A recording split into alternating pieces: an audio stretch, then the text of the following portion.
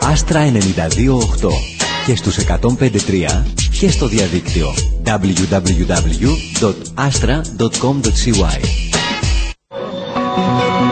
Ο ομφαλός της γης Διεθνή θέματα από το χώρο της πολιτικής, της οικονομίας, της τέχνης και της τεχνολογίας. Καθημερινά 9 με 10 το πρωί στον Άστρα 92.8. Την εκπομπή χορηγεί το κρασί ξυνιστέρι της ΛΟΕΛ. Όλοι στις θέσεις μας. Έτσι, μπράβο. Καλημέρα σε όλα τα αγοράκια και τα κοριτσάκια κάθε ηλικίας, φιλής και χρώματος. Καλώς ήρθατε στον ομφαλό της γης. Που σήμερα μεταδίδεται ως εκπομπή για τελευταία φορά. Εδώ είμαστε, 12 λεπτά μετά τις 10. Αν έχετε κάποιο Αριστόβουλο ή Αρίστο να του ευχηθείτε χρόνια πολλά γιατί σήμερα γιορτάζει. Το αστείο της υπόθεσης είναι ότι και σήμερα και φέτος γιορτάζεται η Παγκόσμια ημέρα αποταμίευσης αδέλφια. Ποιος να αποταμιεύσει και πού.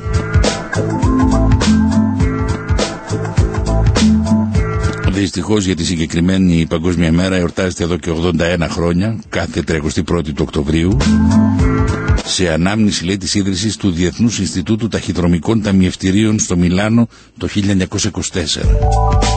Τώρα δεν ξέρω αν μ, υπάρχει ταχυδρομικό ταμιευτήριο στο Μιλάνο. Δεν ξέρω αν υπάρχει ταχυδρομικό ταμιευτήριο και σε πολλές άλλες χώρες. Πάντως το θέμα της αποταμίευσης είναι λίγο ζώρικο.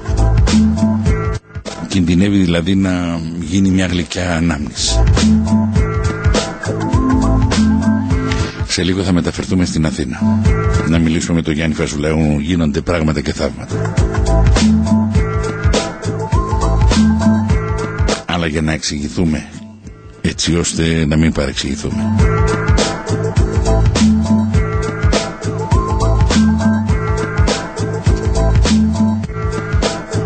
Γιατί σας είπα ότι είναι η τελευταία εκπομπή. Δεν αλλάζει η εκπομπή, ούτε τίτλο ούτε ώρα. Αλλάζει ο παραγωγός. Που σημαίνει ότι σας κουνάω το μαντίλι. Σε αυτή τη ζωή, ξέρετε, υπάρχουν κύκλοι.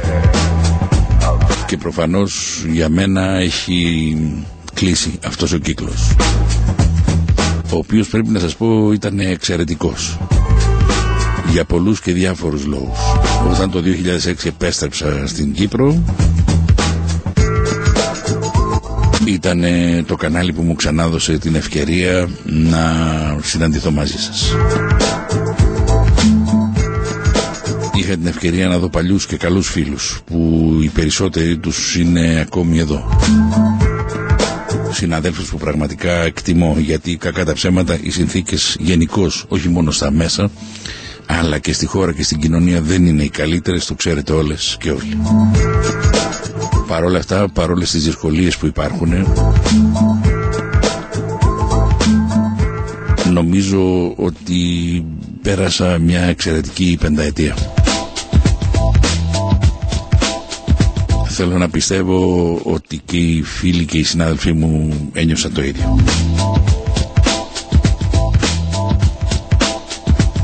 Και οι αντικσότητες υπάρχουν, ξέρετε, γιατί όταν αγριεύουν τα πράγματα στην καθημερινότητά μας, αγριεύουν και σε όλους τους τομείς.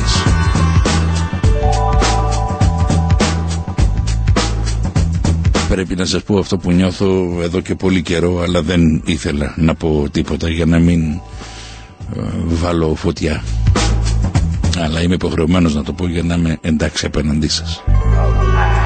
Έχω την εντύπωση, αδέρφοι, ότι έχουν αγριέψει τα πράγματα όχι μόνο από το περιβάλλον το διεθνές που λένε, αλλά και μέσα μας. Δεν κάνουμε σωστό χειρισμό. Αυτό δεν σημαίνει ότι μία πλευρά κάνει και η άλλη δεν κάνει όχι. Το κακό είναι γενικό. Έχουμε αγριέψει. Έχω την εντύπωση ότι γίναμε πιο αγενείς έχω την πεποίθηση πλέον ότι η υποκρισία περισσεύει. Έχω επίσης την πεποίθηση ότι έχουμε μπλέξει με ξερόλες. και στο συνάφι το δικό μου αλλά και παρά έξω και σε αυτό που λέγεται μέσα μαζικής ενημέρωσης αλλά και σε αυτό που λέγεται απλός κόσμος. Είμαι ο τελευταίος που θα κρίνω τον Α ή τον Β, όχι γιατί δεν έχω άποψη, μην το πιστέψετε ποτέ αυτό. Και άποψη έχω και θέση, αλλά δεν γουστάρω. Δεν γουστάρω να με περνάνε για Κρήτη, δεν είμαι Κρήτης, δεν είμαι δικαστής. Υποπτεύομαι ότι όπως και εσείς έτσι και εγώ ζω, βλέπω, αναπνέω, διαβάζω, μαθαίνω, συναναστρέφομαι με ανθρώπους κάθε λογής, κάθε ηλικίας, αυτό που σας λέω κάθε φυλής και χρώματος και είναι κάτι πολύ συναρπαστικό, μου αρέσει πάρα πολύ. Αλλά βλέπω ότι δεν σηκώνουμε πλέον σε πολλά πράγματα μίγα στο σπαθί μας Έχουμε πάρα πολύ εύκολη την κριτική. Μιλάμε σαν περιφερόμενες, σαν κομμένες κεφαλές για θέματα που πολλές φορές δεν θα έπρεπε ούτε καν να ανοίγουμε το στοματάκι μας γιατί απλούστατα δεν ξέρουμε. Όχι ότι δεν πρέπει να μας ενδιαφέρουν τα κοινά του αντίον. Πρέπει και πολύ μάλιστα και να είμαστε και ενεργοί πολίτες. Και άποψη να έχουμε και γνώμη. Το θέμα είναι όταν την εκφράζουμε να ξέρουμε. Και δυστυχώς δεν ξέρουμε. Δυστυχώς σε αυτή τη ζωή υπάρχουν πάρα πολλά πράγματα τα οποία ζούμε, μεγαλώνουμε, πεθαίνουμε και δεν τα μαθαίνουμε ποτέ. Ή τα μαθαίνουμε όταν πια είναι πολύ αργά. Και για να μην κάνω κήρυγμα, καλό θα είναι να κοιτάξουμε λίγο και τον εαυτούλη μας. Να δούμε που κάναμε λάθος κι εμείς. Αυτά. Κρατάμε λοιπόν τα καλά και φορτώνουμε τα κακά και αυτά που μας ενοχλούν και μας στεναχωρούν πάνω στο τρένο. Στο τρένο του Χρήστου Θηδαίου. Βάει τρένο. Πήγαινε με το τρένο. Σε λίγο θα μιλήσουμε με τον Γιάννη το Φασουλά. Κ. Χρήστος Θηδαίος. Λοιπόν, 21 λεπτά μετά τις 10. Καλημέρα, καλώς ήρθατε και καλή εβδομάδα. Το ραδιόφωνο το έχουμε πει πολλές φορές είναι μαγικό μέσο. Σου επιτρέπει να κάνεις άλματα. Για παράδειγμα, εγώ παρά τα 130 μου κιλά έχω γίνει σφεντόνα. Βρίσκομαι με ένα σάλτο, ευτυχώς όχι μορτάλη στην Αθήνα. Καλώς τον κύριο Φασουλά με τα καλά νέα. Καλημέρα Γιώργο. Είστε καλά; Σήμερα είμαστε καλά διότι έχει ωραία μέρα στην Αθήνα. Να, το ρίξαμε στη, στον καιρό, ε. Δεν μου λες το... που άλλο μπορούμε να το ρίξουμε αυτή, ναι. αυτή την ε, εποχή. Λύσαμε το, την Αραβική Άνοιξη στην Κρήτη. Αυτό τελείωσε. Ε, καθάρισε Τελείωσε. ο Πρωθυπουργός μας, ε. Τελείωσε το θέμα αυτό. Μα τι Το άξιο αναλύσαμε. παλικάρι είναι αυτό. Το αναλύσαμε το θέμα. Ναι. Είναι, εξακολουθεί και είναι στη γυάλα ο Πρωθυπουργός από ό,τι φαίνεται. ε. Ο Πρωθυπουργός πιέζεται να, να αναλάβει πρωτοβουλίες και μάλιστα πιέζεται έντονα μετά μάλιστα και τα γεγονότα της 28ης Οκτωβρίου δεν χρειάζεται να τα επενθυμίσω και να τα επαναλάβω τα είδατε όλοι τι έγινε σε ολόκληρη την Ελλάδα.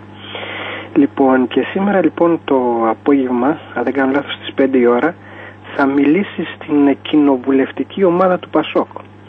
Βέβαια μια κοινοβουλευτική ομάδα η οποία βράζει, κυριολεκτικά α, βράζει Προβλέπονται τίποτα σκηνικά περίεργα; δεν ξέρουμε αν θα δώσουν το λόγο στους βουλευτές ή αν θα κάνει μια ομιλία ο Πρωθυπουργός και εκεί τελειώνουν όλα. Δηλαδή θα πάει να τους ρίξει ένα δεκάρικο που λένε και καθαρίσαμε μάλλον, ε. Δεν το ξέρει κανένας αυτό το πράγμα το πώς θα εξελιχθεί αυτή η κοινοβουλευτική ομάδα. Γιατί Τι υπάρχουν μυστήριο κόμμα είναι αυτό, ρε. κοινοβουλευτικές ομάδες οι οποίες δίνουν το λόγο στους βουλευτές, λέει άλλες κοινοβουλευτικές ομάδες θα μιλήσει ο πρόεδρος και γεια σας.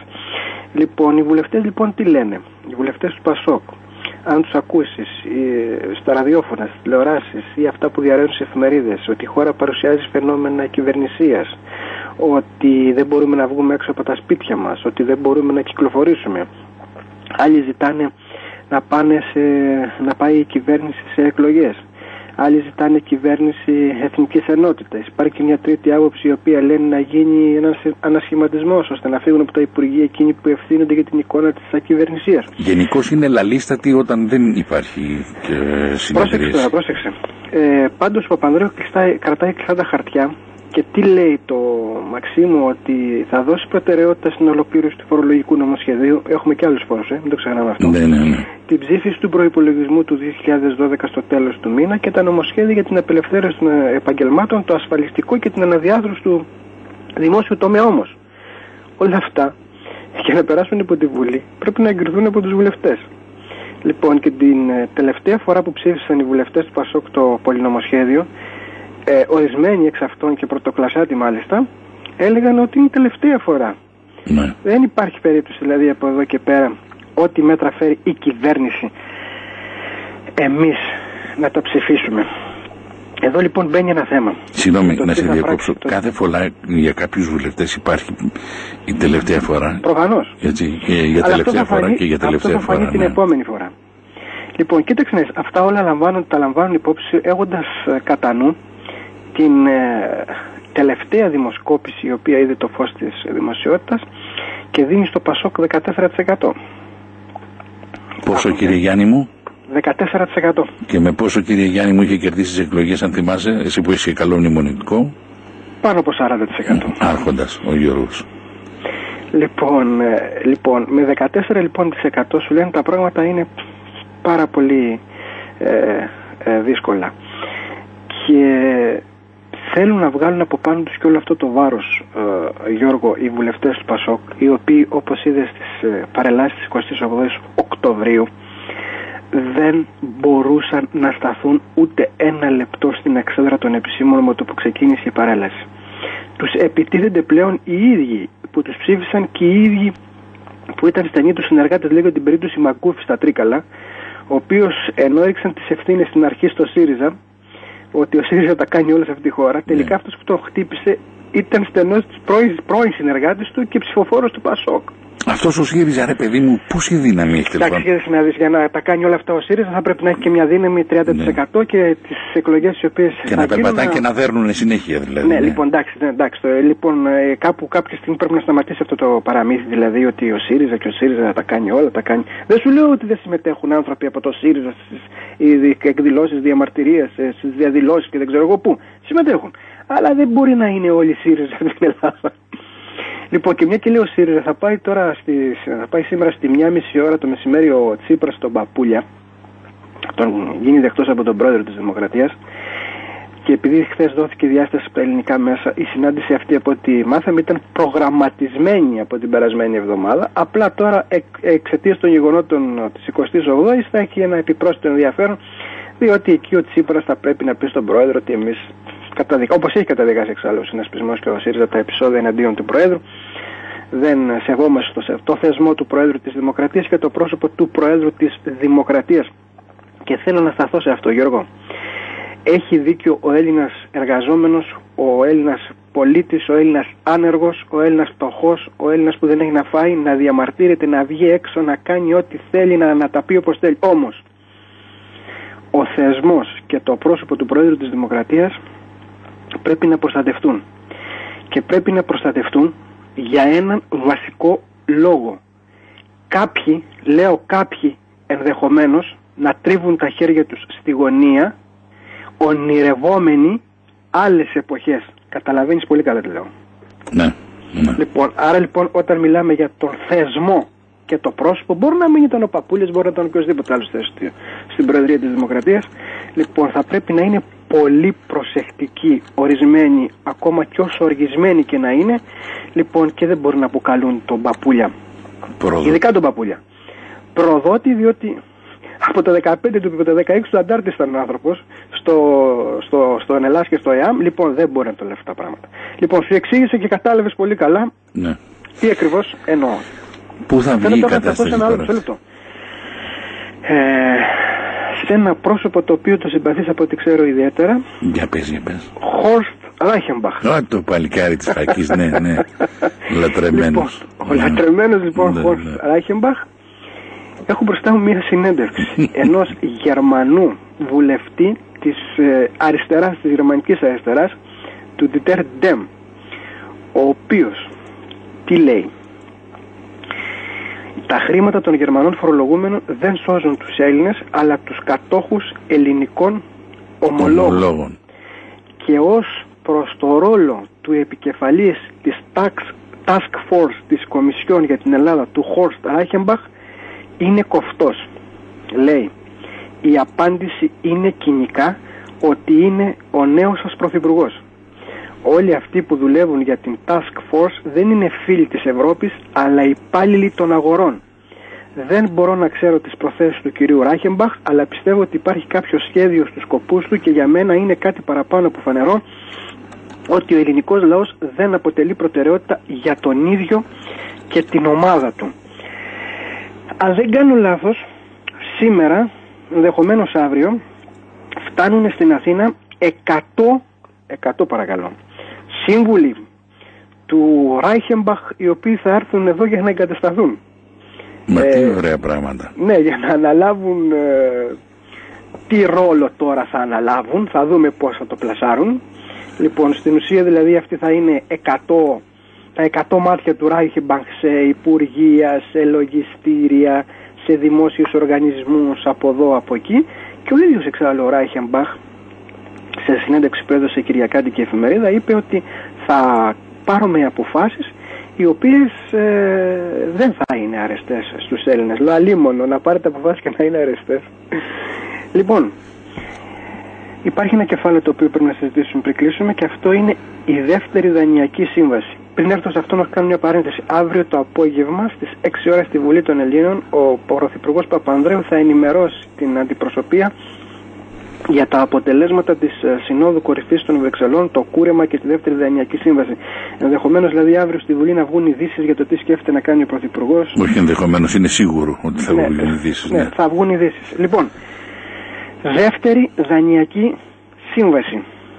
Το δεύτερο μνημόνιο, όπως το λένε, δεν είναι το δεύτερο. Ε, είναι- Έχουμε υπογράψει πέντε μνημόνια. Ναι. Απλά το πρώτο μνημόνιο το επικαιροποίησαν τέσσερις φορές επί της ουσίας. Αλλά για να τα λέμε χοντρικά, ήταν το πρώτο μνημόνιο που υπεγράφει τότε που ξεκίνησε ο μηχανισμός διάσωσης και τώρα έχουμε το δεύτερο. Ε, για να τα λέμε έτσι πολύ γενικά για να καταλαβαίνει ο κόσμος. Λοιπόν, η δεύτερη λοιπόν ε, δανειακή σύμβαση τι προβλέπει, έτσι πολύ απλά. Να φύγουν από το δημόσιο μέχρι το 2013 300.000 άνθρωποι. Τεράστιο το νούμερο, ε. Κάπου Πρόσεξε, την έχουμε. 300.000 εργαζόμενοι Γιάννη, για να μην μακρηγορούμε και θα μας κυνηγήσουν, η συνταγή είναι αποτυχημένη έχει εφα... όπου έχει εφαρμοστεί. παντού.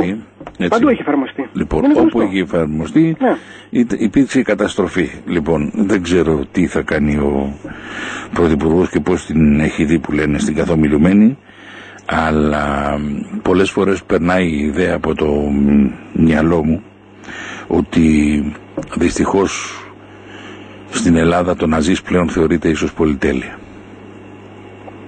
Νομίζω ότι το σποτ και θα κλείσουμε εδώ του γαλλικού καναλιού με τον Κώστα το Σκαπανέα, Ναι, το είδες; ναι, ναι, ναι. Ε, νομίζω ότι τα λέει όλα.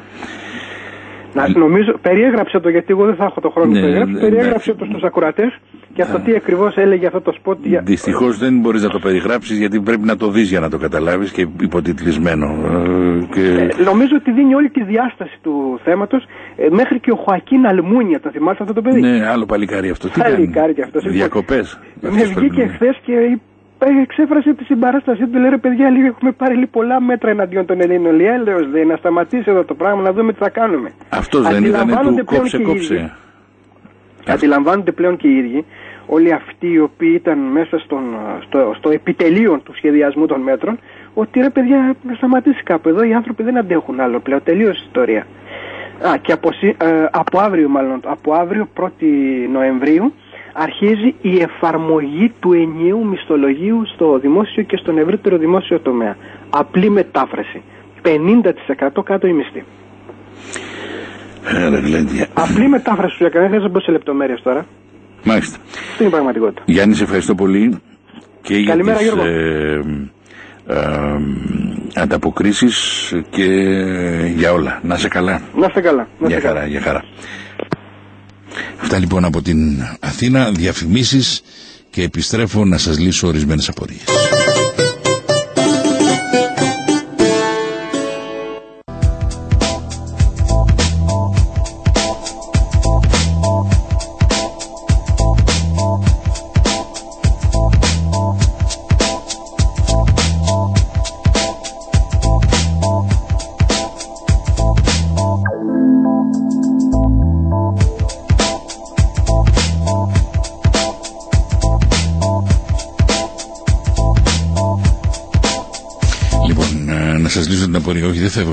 Φεύγω από την Κύπρο. Φεύγω από το σταθμό. Και πιστέψτε με, δεν ήταν καθόλου εύκολη η απόφαση. Ήταν από δύσκολη έως πάρα πολύ δύσκολη.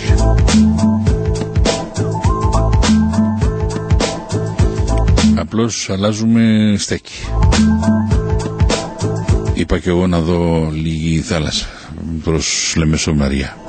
Να γίνω έτσι στα 50 φεύγα μου λίγο τύπος παραλίας που λένε.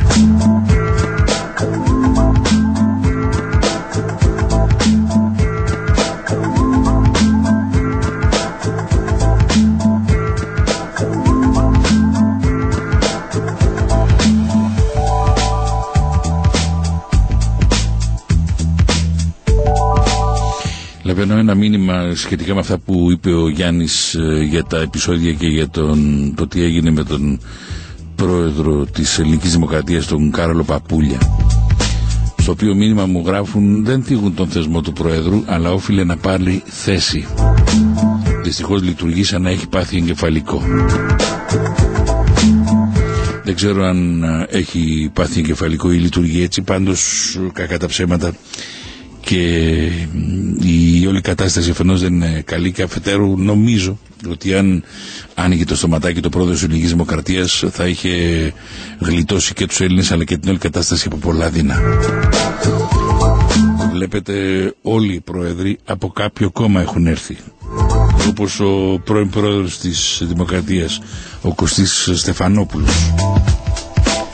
Όπως ε, ο Κωνσταντίνος Καραμαλής η μόνη εξαίρεση βέβαια ήταν ο Χρήστος Αρζετάκης ο οποίος από το δικαστικό σώμα βρέθηκε στην Προεδρία της Δημοκρατίας. Ίσως γι' αυτό να το καταλογίζουν ως ένα βαθμό ευθύνη και του ιδίου του ε, Προέδρου της Ελληνικής Δημοκρατίας. Επειδή ξέρουν ότι προέρχεται από το Πασό και σου λέει δεν θέλει να χαλάσει την καρδία σου.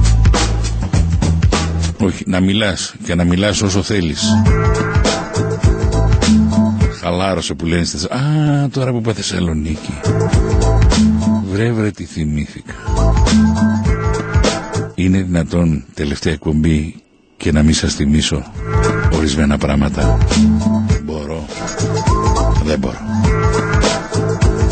Καταρχήν πώς το λένε εκείνο το παλικάρι το θερματοφύλακα του Ολυμπιακού; Κωνσταντσο. Έχει το τελευταίο γράμμα του ονόματός του είναι το ίδιο με αυτό του προπονητή του.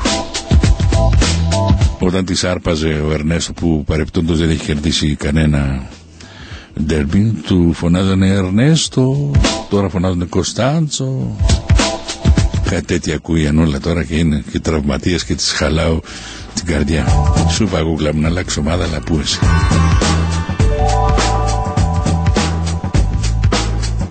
Την άλλη θεωρώ απαράδεκτο αυτό που γίνεται στα ελληνικά γήπεδα, το είπα και στην Άννα και στον Κωστή το πρωί.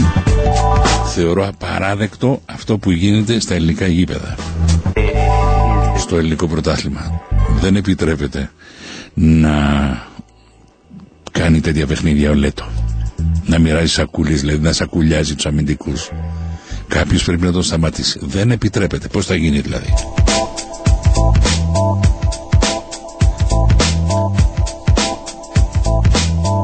Θερμούς αγωνιστικούς μου χαιρετισμούς στο φίλο μου τον Άκη στη Λάρνακα. Πάω στη το τηλέφωνο σου είναι κλειστό. Σαν τρένο πέρασαμε από τη Θεσσαλονίκη.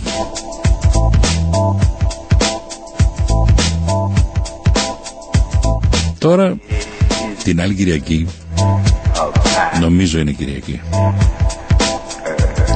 παίζω με την ομάδα του Πανάγου στην έδρα μου παίζει Παναθηναϊκός ΑΕΚ.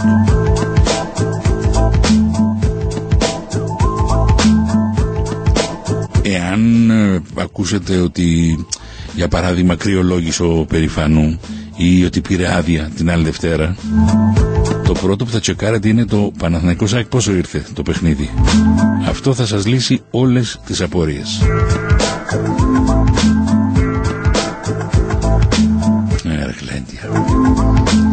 Λοιπόν, Και όμως δεν είναι τα τύμπανα του πολέμου. Είναι ένα μουσικό κομμάτι που ονομάζεται Egyptian Dancer.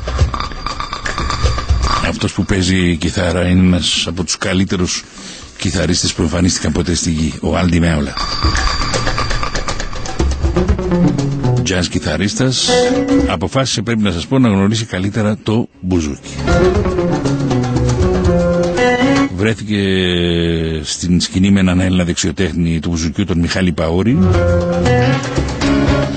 και φαίνεται πως γοητεύτηκε τόσο που την ε, Παρασκευή και το Σάββατο που έρχεται αν είστε στην Αθήνα στο Θέατρο Ακροπόλ θα γίνει μια συναυλία με μεγάλη ποικιλία. Στο μεν πρώτο μέρος θα παρουσιάσει τα κομμάτια από την καινούργια του δουλειά με τίτλο Pursuit of Radical Rhapsody και στο δεύτερο μέρος μετά από πρόσκληση του Μιχάλη Παούρη θα τους δείτε να συμπράττουν και να αυτοσχεδιάζουν με κιθάρα και μπουζούκι.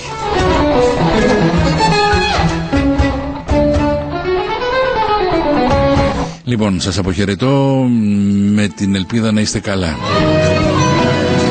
Το γεγονός ότι φεύγω από το σταθμό δεν σημαίνει ότι κόβω τους δεσμούς μου των αντίον. Είναι φίλοι και συνάδελφοι τους οποίους αγαπώ πολύ και θα έρχομαι να τους βλέπω, αυτό είναι το μόνο σίγουρο.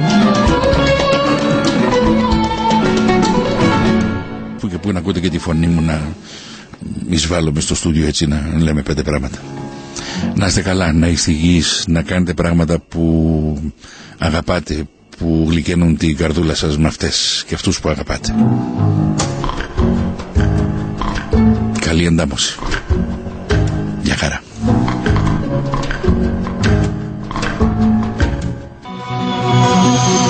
Ομφαλός της γης. Διεθνή θέματα από το χώρο της πολιτικής, της οικονομίας, της τέχνης και της τεχνολογίας. Καθημερινά 9 με 10 το πρωί στον Άστρα 92.8. Την εκπομπή χορηγεί το κρασί ξυνιστέρι της ΛΟΕΛ.